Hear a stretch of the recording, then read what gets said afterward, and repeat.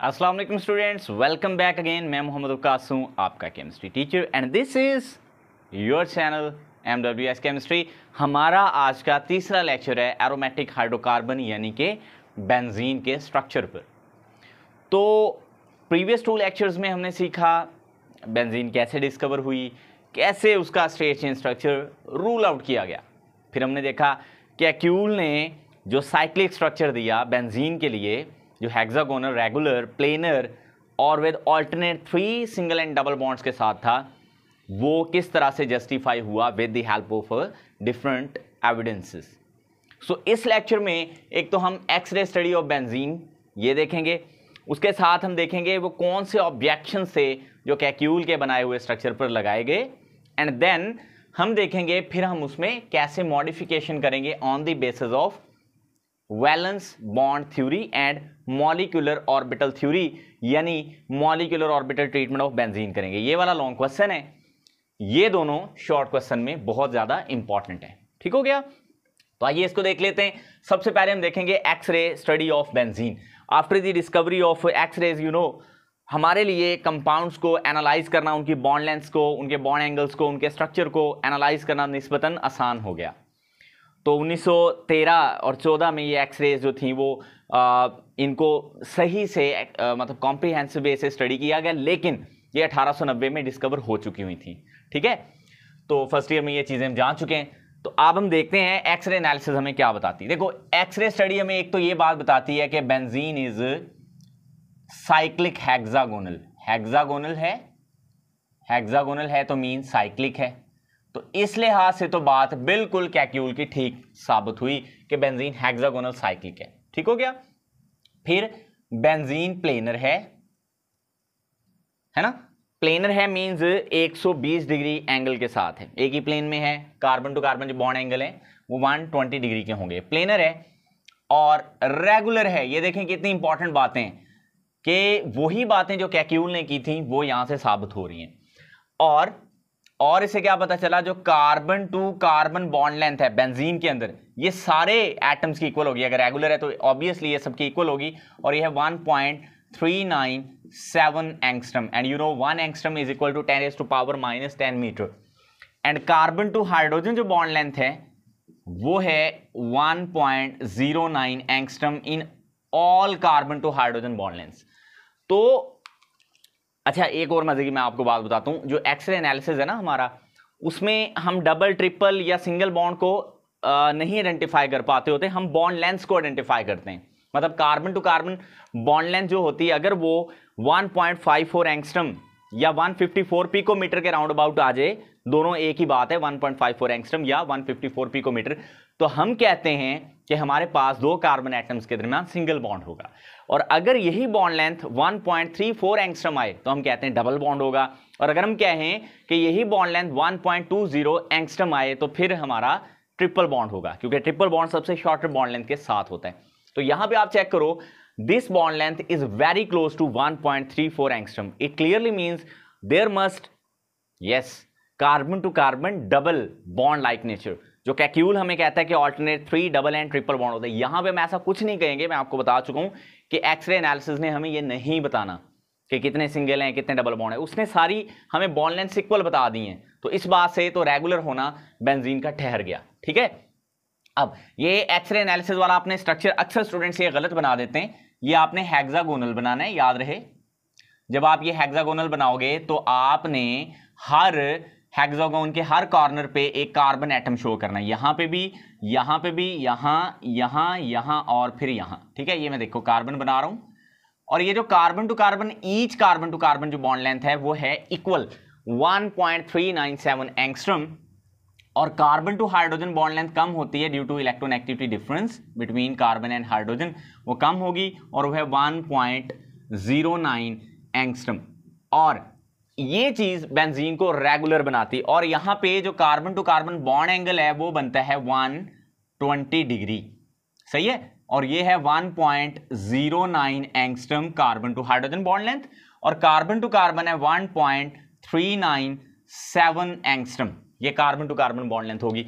सो so, ये structure आपने बनाना है जब पेपर में आया आपको क्वेश्चन आपने इसमें डबल बॉन्ड वगैरह शो नहीं करने ना ही इसमें कोई सर्कल लगाना है। Alright right? तो यहाँ से काफ़ी कुछ क्लियर हो गया कि कैक्यूल के मुताबिक हेक्सागोनल थी तो एक्चुअल स्ट्रक्चर भी हेक्सागोनल ही होता है साइक्लिक है। प्लेनर है 120 डिग्री एंगल के साथ साबित हो गया रेगुलर है। और कार्बन टू कार्बन और कार्बन टू हाइड्रोजन जो बॉन्ड लेंथ हैं, वो सारे कार्बन टू हाइड्रोजन और कार्बन टू कार्बन इक्वल हैं। तो ये इसकी रेगुलरिटी का सबूत है। लेकिन यहाँ पे ये बात बिल्कुल नहीं है कि कार्बन में अगर एक डबल बॉन्ड है कार्बन टू कार्बन फिर सिंगल होगा। Alternate single and double bond वाली कंडीशन नहीं है।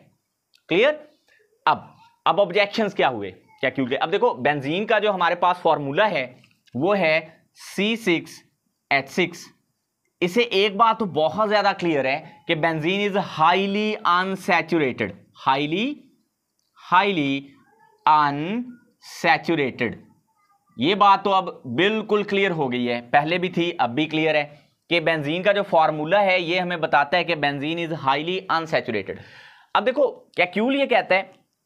कि जो उसने बेंजीन बना दी है, जिसमें डबल बॉन्ड भी हैं सिंगल बॉन्ड भी हैं डबल हैं सिंगल हैं, इस तरह से करके सिलसिला चल रहा है। अगर हम कैक्यूल की बेंजीन को असल बेंजीन मान लें लेट्स पोज ठीक है? वो असल बेंजीन के बहुत ज़्यादा करीब तो है, लेकिन असल नहीं है। अब ये हमारी मॉडर्न सर्च में बताती है, जैसे जैसे हम आगे चलेंगे, ये बात आपको समझ आएगी। अब अगर हम कैक्यूल की बेंजीन ही को असल बेंजीन मान लें तो क्या होगा? बेंजीन चूँकि हाईली अनसेचुरेटेड है, उसमें डबल बॉन्ड्स भी हैं according to Kekule there are three double bonds in benzene according to Kekule I am से तो फिर हमारे पास बेंजीन को सिर्फ़ एडिशन रिएक्शन देने चाहिए, है ना? लेकिन असल बेंजीन एडिशन रिएक्शंस में रिलक्टेंट होती है, यानी थोड़े कम रिएक्शन शो करती है। एडिशन रिएक्शंस यहाँ पे क्या होते हैं? रिलक्टेंट होते रिलक्टेंट होते हैं सॉरी रिलक्टेंटली जो बेंजीन है, वो क्या करती है? यस एडिशन रिएक्शन शो करती है। लेकिन रेडीली क्या देती है? सब्सिट्यूशन रिएक्शन तो ये बड़ी अजीब बात है कि बेंजीन जो है, वो रेडीली सब्सिट्यूशन रिएक्शन तो देती है है ना? तो एडिशन रिएक्शन में वो रिलेक्टेंट शो करती है मतलब कम रिएक्शन वो शो करती है। तो ये जो बात है ना, ये हजम नहीं हो रही अब। देखो, अब अगर बेंजीन अकॉर्डिंग टू कैक्यूल दे रहा है थ्री डबल बॉन्ड्स ऑल्टरनेटिव भी तो फिर बेंजीन को सिर्फ़ एडिशन रिएक्शन देने चाहिए, उसको सब्सिट्यूशन की तरफ़ आना नहीं चाहिए। और यहाँ पर तो सारा सीन ही उल्टा हो रहा है कि benzene undergoes substitution reaction more readily as compare to that of addition reaction so there is problem in the structure of benzene इसमें मैं एक चीज़ और भी ऐड कर देता हूँ। देखो, जो के है पोटेशियम पर मैग्नेट जो है यहाँ पे, वो वो अभी भी जो ऑक्सीडेशन है, वो तो बेंजीन की नहीं कर पा रहा। यानी असल बेंजीन जो है, वो के के प्रेजेंस में ऑक्सीडाइज नहीं हो रही। हालाँकि कैक्यूल कहता है there are three double bonds in benzene alternatively तो अगर कैक्यूल की बात को मान के चला जाए तो K M N O four must oxidise the benzene but actually it doesn't happen है ना? तो ये अब हमारे लिए प्रॉब्लम बन गई। सो so, ये ऑब्जेक्शन से और भी ऑब्जेक्शन हम लगा सकते हैं कैक्यूल पर। और वो एडवांस लेवल पे जाके अगर मैं बात करूँ तो आ, वो मैं कह सकता हूँ। लेकिन चलें थोड़ा सा उसके बारे में बता देता हूँ। लाइक अगर हम कहें कि दो सब्सिट्यूएंट लगे हैं बेंजीन रिंग में ऐसे एक्स और वाई तो दूसरा ये हो सकता है कि पॉसिबली ये सब्सिट्यूएंट ऐसे लगे हों एक्स और वाई अब दोनों ही वन टू पोजीशन पे हैं। अगर आप देखें, यहाँ एक्स और वाई के दरमियान सिंगल बॉन्ड आ रहा है और यहाँ एक्स और वाई के दरमियान डबल बॉन्ड आ रहा है। सो इस चीज़ को भी कैक्यूल इलाबोरेट नहीं कर पा रहा था। तो इसने कहा कि ये दोनों जो हैं, वो इक्लिबर में होते हैं। ये जो चीज़ अभी मैंने बताई है ना, ये एफएससी लेवल पे तो नहीं है, लेकिन एडवांस लेवल्स पे ये बताया जाता है। ठीक है? यानी इंटर लेवल पे ये नहीं है। तो इन सारी चीज़ों को देखते हुए एक बात तो क्लियरली समझ आ गई कि कैक्यूल की बेंजीन जो है, वो असल बेंजीन के बहुत ज़्यादा करीब है। लेकिन यहाँ पर जो प्रॉब्लम्स हैं, वो आपके सामने तो इसलिए इस प्रॉब्लम को रिजॉल्व करने के लिए हम देखेंगे molecular orbital treatment of benzene अगर आपको हैबिटाइजेशन कॉन्सेप्ट पता है so then this topic is not a big deal for you अब देखो, ये मैंने बताया वेरी इंपॉर्टेंट शॉर्ट क्वेश्चन है, ये पेपर में शॉर्ट क्वेश्चन आता है, और ये भी वेरी इंपॉर्टेंट शॉर्ट क्वेश्चन है, ये वाला। और जो अभी मैं आपको करवाने लगा हूँ, ये लॉन्ग है, बहुत इंपॉर्टेंट ठीक है? इंपॉर्टेंट लॉन्ग है वेरी इंपॉर्टेंट लॉन्ग क्वेश्चन तो इसको आप कैसे कवर करोगे? थ्योरी आपके पास बहुत ज़्यादा बन सकती है, लेकिन जो मेन चीज़ें हैं वो आपने लिखनी। कुछ चीज़ें बुक में स्किप की गई हैं, मैं उसमें ऐड करूँगा, वो आपने ज़रूर लिखनी। अब देखो, हमारे पास बेंजीन में कार्बन हैं। तो हम कार्बन को पहले लिखते हैं यहाँ पे हाइब्रिडाइजेशन शो करने के लिए। तो कार्बन का अटोमिक नंबर होता है छः तो हमारे पास ये मैंने कैसे बना दी? ऐसे कार्बन लिखें, यहाँ पे छः लिखें। One S two two S two I really hope कि आपको कॉन्फ़िगरेशन का पता है, आपको हैबिटाइजेशन आती है। तो two P Y one and two P Z zero this is called the ground state of carbon atom and if we write its excited state तो वो हमारे पास बनेगी one S two two S one two P X one two P Y one and two P Z there is also one so this is called the excited state of carbon atom अब you can सी कि यहाँ पे अगर हम habituation की तरफ़ जाएँ तो हमें बेंजीन में sp2 हाइब्रिडाइजेशन को सजेस्ट करना पड़ेगा because there is bond length between two carbon atom is 1.397 angstrom which is nearly equal to that of 1.34 angstrom अब देखो, अगर 1.34 एंगस्ट्रम हो तो हम sp2 हाइब्रिडाइजेशन को कंसीडर करते हैं। देखो एक्सरे एनालिसिस में बहुत ज़्यादा हेल्प करती है हाइब्रिडाइजेशन स्टेट को समझने में।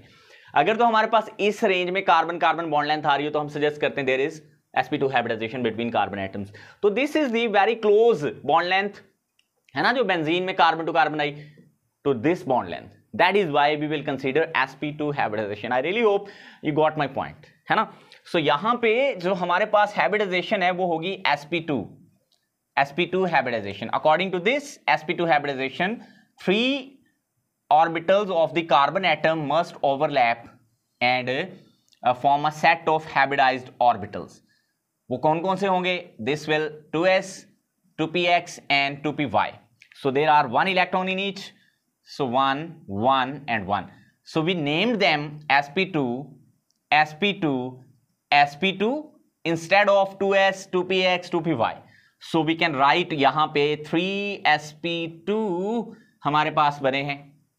और एक जो ऑर्बिटल रहा, वो रहा अनहैबिडाइज्ड वो कौन सा है? 2pz yes it also have one electron और इसको हम क्या बोलेंगे? अनहैबिडाइज्ड हैब्रिडाइज्ड ठीक है? तो ये अनहैबिडाइज एक ऑर्बिटल रहा बेंजीन के कार्बन के अंदर, हर कार्बन के अंदर। छह कार्बन है there there are six carbon in benzene so हम बनाते देखो, अब आप कैसे बनाओगे? बोल रहा देख लो। एक कार्बन आप यहाँ शो करो। इसके बिल्कुल यहाँ पे भी एक कार्बन ऐसे शो कर लो। क्लियर है? बात समझ आ रही ना? फिर चलो थोड़ी सी स्पेस और दे लो, यहाँ ऐसे कर लो, और यहाँ पे आपके पास एक और ये दो। इनके बिल्कुल नीचे यहाँ पे सीध में, यहाँ पे कर लो, एक और ये दो। तो यूँ छह कार्बन आपने शो कर लेने। अब आपको पता है, हर कार्बन जो है वो sp2 हैबिडाइज है, और sp2 हैबिडाइजेशन में आपको पता है ट्राइगोनल प्लेनर शेप बनती है इस तरह की।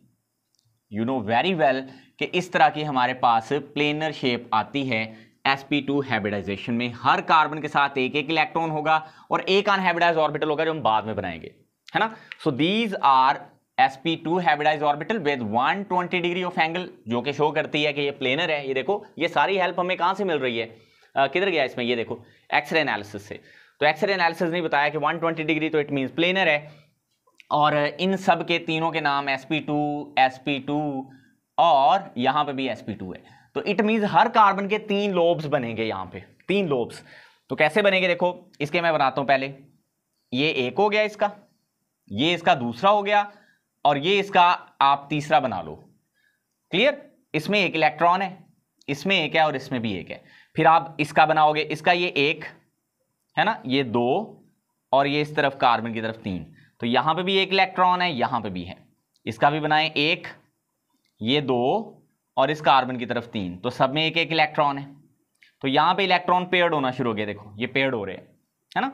जहाँ कार्बन कार्बन ओवरलैपिंग हो रही है, और यहाँ पे भी ऐसे पेयर्ड, ये। तो हर कार्बन के आपने तीन तीन ऑर्बिटल जो हैं वो बनाने ये हैबिटाइज ऑर्बिटल जो हैं। अच्छा ये भी पेयरिंग हुई है यहाँ पे, दो इलेक्ट्रॉन आएँगे। आई रियली होप के ये नज़र भी आ रहा होगा आपको। अगर आपको नज़र नहीं ना आ रहा होता तो वीडियो क्वालिटी को थोड़ा बेहतर कर लिया करें। आपके पास ऑप्शन होता है एडवांस में जाके आप चेक कर सकते हैं। वीडियो क्वालिटी को आप बेहतर बना सकते हैं। अब ये देखें यहाँ पर भी मैंने ऐसे किया ये कार्बन रह गया तो इसका ये ओवरलैप कर गया इधर से ये कर गया। तो हर कार्बन का sp2 ऑर्बिटल दूसरे कार्बन के sp2 ऑर्बिटल से सिग्मा ओवरलैपिंग शो कर। So this is the sigma overlapping और ये कितनी है? यस yes, शाबाश। एक दो तीन चार पाँच और ये छ। So there are six sigma bonds हाँ जी, ये सिक्स सिग्मा बॉन्ड जो हैं, ये लाइन थोड़ी टेढ़ी होगी, चलो मैं सीधी कर लेता हूँ। ऐसे करके सिक्स सिग्मा बॉन्ड जो हमारे पास बने हैं, वो कार्बन टू कार्बन है और ये sp2 और sp2 ओवरलैपिंग से बने हैं। अब ये यहाँ पे याद रहे। अच्छा यही थ्योरी में आपने चीज़ें बतानी अच्छा अब यहाँ पे ये बच गए ये बारे यहाँ पे आके ओवरलैप करेगा हाइड्रोजन का। कौन सा भला? यस वन एस ऑर्बिटल मैं यहाँ पे ना ओवरलैपिंग की वो लिख भी देता हूँ टाइप जो भी हुई है।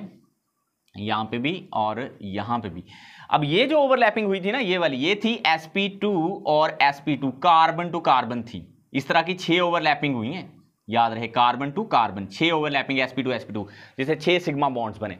अब ये जो ओवरलैपिंग है ना, ये है sp2 और s के दरमियान। Sp2 और s sp2 किसका है? कार्बन का। और s किसका है? हाइड्रोजन का। इस तरह की भी जो ओवरलैपिंग हुई है ना, वो छह हुई हैं। तो यहाँ पे भी ये छह सिग्मा बॉन्ड्स बने हैं। कार्बन टू हाइड्रोजन अब देखो, छह sigma bond carbon to carbon है, जो sp2 sp2 ओवरलैपिंग से बने, और छह जो सिग्मा बॉन्ड्स हैं, वो हैं कार्बन टू हाइड्रोजन जो बने हैं, किस ओवरलैपिंग से बना? यस sp2 और s ओवरलैपिंग से। तो ये एक, दो, तीन, चार, पाँच, और ये छह। यहाँ तक क्लियर ये तो अंडरस्टैंडेबल है। अब रहा इस अनहैबिटाइज ऑर्बिटल का मसला। अब ये जो सारे आपको एटम्स नज़र आ रहे हैं, जिसमें कार्बन टू कार्बन बॉन्ड है और कार्बन टू हाइड्रोजन बॉन्ड है these are in one plane means इनके दरमियान 120 डिग्री एंगल है according to this hybridisation now हम अब अगला स्ट्रक्चर बनाएँगे। एक तो आपने ये स्ट्रक्चर बनाना है। ऐसे ये सारा आपने लिखना है। तो यहाँ तक आप स्क्रीनशॉट ले लें, फिर मैं आगे बताता हूँ आपको। अब जो डाटा हमारा रह गया स्ट्रक्चर्स को लेके, अब देखो आपने एक बात तो जान ली है कि हमारे पास ये हेक्सागोन है, इस तरह से बनी। ये इस तरह से है। ये आप बना लोगे ठीक है? आ, कुछ इस तरह से। ये थोड़ी बड़ी बन गई है या ठीक है इतनी बड़ी बना सकते हैं आप ठीक है? आ, पेपर में। तो अब यहाँ ये सारे कार्बन है यहाँ कॉर्नर्स पर। और कार्बन से था हाइड्रोजन ऑलरेडी मैं आपको बता चुका हूँ। तो ये तो आ गया प्लेन में ठीक है? यहाँ पे छः sigma bonds carbon to carbon है और छः sigma bonds carbon to hydrogen है जो यहाँ पे मैंने शो नहीं किए। अब हर कार्बन पे एक अनहैबिडाइज्ड ऑर्बिटल है। और आपको पता होना चाहिए, जो अनहैबिडाइज ऑर्बिटल होता है ना, वो अपनी शेप को चेंज नहीं करता। ये अपनी शेप डम्बल ही रखेंगे, ठीक है, ये बारे तो ये छः होंगे, हर कार्बन पे एक होगा तो छः कार्बन है तो छः अनहैबिडाइज यहाँ पे आपने ऑर्बिटल जो हैं वो शो करना है, ठीक है? उम्मीद है कि आप कर लोगे। ये इस तरह से। अब ये ओवरलैप करेंगे साइड वे साइड वे बोले तो पाई बॉन्ड बनाने के लिए। क्या बनाने के लिए? पाई बॉन्ड मैं नीचे करके भी दिखाता हूँ आपको। यहाँ पे तो ये आपने बना लिया। देखो, ये कैसे ओवरलैप करेंगे? यहाँ पे हम इसको थोड़ा छोटा करके समझ लेते हैं। देखो, ये यहाँ पे भी अनहैबिडाइज यहाँ पे भी है, यहाँ पे भी है। तो छः कार्बन हैं तो छः ही अनहैबिडाइज यहाँ पे ऑर्बिटल हैं। मैं क्या करता हूँ, जो नीचे वाले हैं, उनको शेड कर देता हूँ, ताकि आपको याद रहे कि नीचे वाले कौन से हैं और ऊपर वाले लोब्स इनके कौन से हैं। ठीक है? उन्हीं को फिर आपने ओवरलैप करवा लेना अब अब ये साइड वे ओवरलैप करके पाई बॉन्ड बनाएँगे। अब ऊपर वालों को पहले ओवरलैप करवा लें, ये मैं ब्लू से करवा लेता हूँ। ये, आपको पता है पाई बॉन्ड जो होता है ना अबव एंड बिलो ओवरलैपिंग से बनता है और अनहैबिटाइज ऑर्बिटल्स की ओवरलैपिंग से बनता है। ठीक है? और ये जो होता है ना, ये प्लेन से परपेंडिकुलर आपको एक क्लाउड नज़र आएगा। ये तो मैंने बना, देखो ना पाई बॉन्ड बेसिकली यूँ होता है। ये अगर प्लेन वाली लाइन है तो पाई क्लाउड में पाई बॉन्ड में आधा क्लाउड ऊपर होता है परपेंडिकुलरली और आधा नीचे होता है। तो यहाँ पे भी सेम यही सीन है। अभी मैंने आधा क्लाउड बनाया ऊपर वाला। तो नीचे वाला मैं रेड से बना लेता हूँ। ये देखो, नीचे वालों को मैं अब आपस में मिलाता हूँ। ऐसे आपने मिलाते जाना है। ये एक अच्छा सा आपके पास स्ट्रक्चर बिल्ड हो जाएगा। तो यूँ पाई क्लाउड है। देखो, बीच में जो ब्लैक है, वो प्लेन वाला, ये वाला स्ट्रक्चर है और ये पाई क्लाउड बनाते हुए छह पाई बॉन्ड्स यहाँ पे। अब ये मैंने जो छह पाई बॉन्ड वाला लफ्ज बोला है ना, ये बिल्कुल गलत है रॉन्ग है। बेंजीन में ना तीन डबल बॉन्ड है, ना छह डबल बॉन्ड है, बल्कि बेंजीन में एक डी लोकलाइज पाई क्लाउड है, जिसको हम आगे चल के रेजोनेंस में सीखेंगे। तो फ़िलहाल के लिए आप ये तो इस तरह से हमारे पास ओवर दी प्लेनर जो स्ट्रक्चर है हेक्सागोन बेंजीन का उसके ऊपर एक पाई क्लाउड है, परपेंडिकुलर। इस तरह से, ये देखें। इस तरह से है ये। सही हो गया? तो ये आपने इस तरह से बना देना। तो ये, मैं फिर बता ये पाई क्लाउड जो है, ये परपेंडिकुलर है to the hexagon so that's it about क्या? Yes molecular orbital treatment of benzene यहाँ से ये बात हमें समझ आई है कि बेंजीन में तीन डबल बॉन्ड्स तो नहीं है। ये वाला कॉन्सेप्ट गलत हो गया। क्यों? क्योंकि अगर हम एक्सरे एनालिसिस को देखें तो सारे कार्बन की जो बॉन्ड लेंथ है, वो आ रही है 1.397 एंगस्ट्रम ये उसी वक्त ही पॉसिबल है जब सारे कार्बन एटम एक जैसा बिहेव कर रहे हो। अगर कहीं पे डबल है, कहीं पे सिंगल है तो ये चेंज होती, हर कार्बन टू कार्बन ऐसा, लेकिन ऐसा नहीं है। दो तरह की बॉन्ड लेंथ आती कार्बन टू कार्बन बेंजीन में एक्सरे एनालिसिस के अंदर, लेकिन ऐसा नहीं हुआ। तो इट मीन कुछ ऐसा सीन चल रहा है, ठीक है? कि सारे ही कार्बन एक ही तरह बिहेव कर रहे हैं। एक तो ये इनका प्लेन वाला तो समझ आ गया। और जो पाई क्लाउड है, वो भी कुछ इस तरह से। क्लाउड हम इसको कहेंगे। क्या बोलेंगे? यस आप इसको बोलोगे पाई क्लाउड आप इसको पाई बॉन्ड नहीं बोल सकते, बल्कि क्या बोलोगे?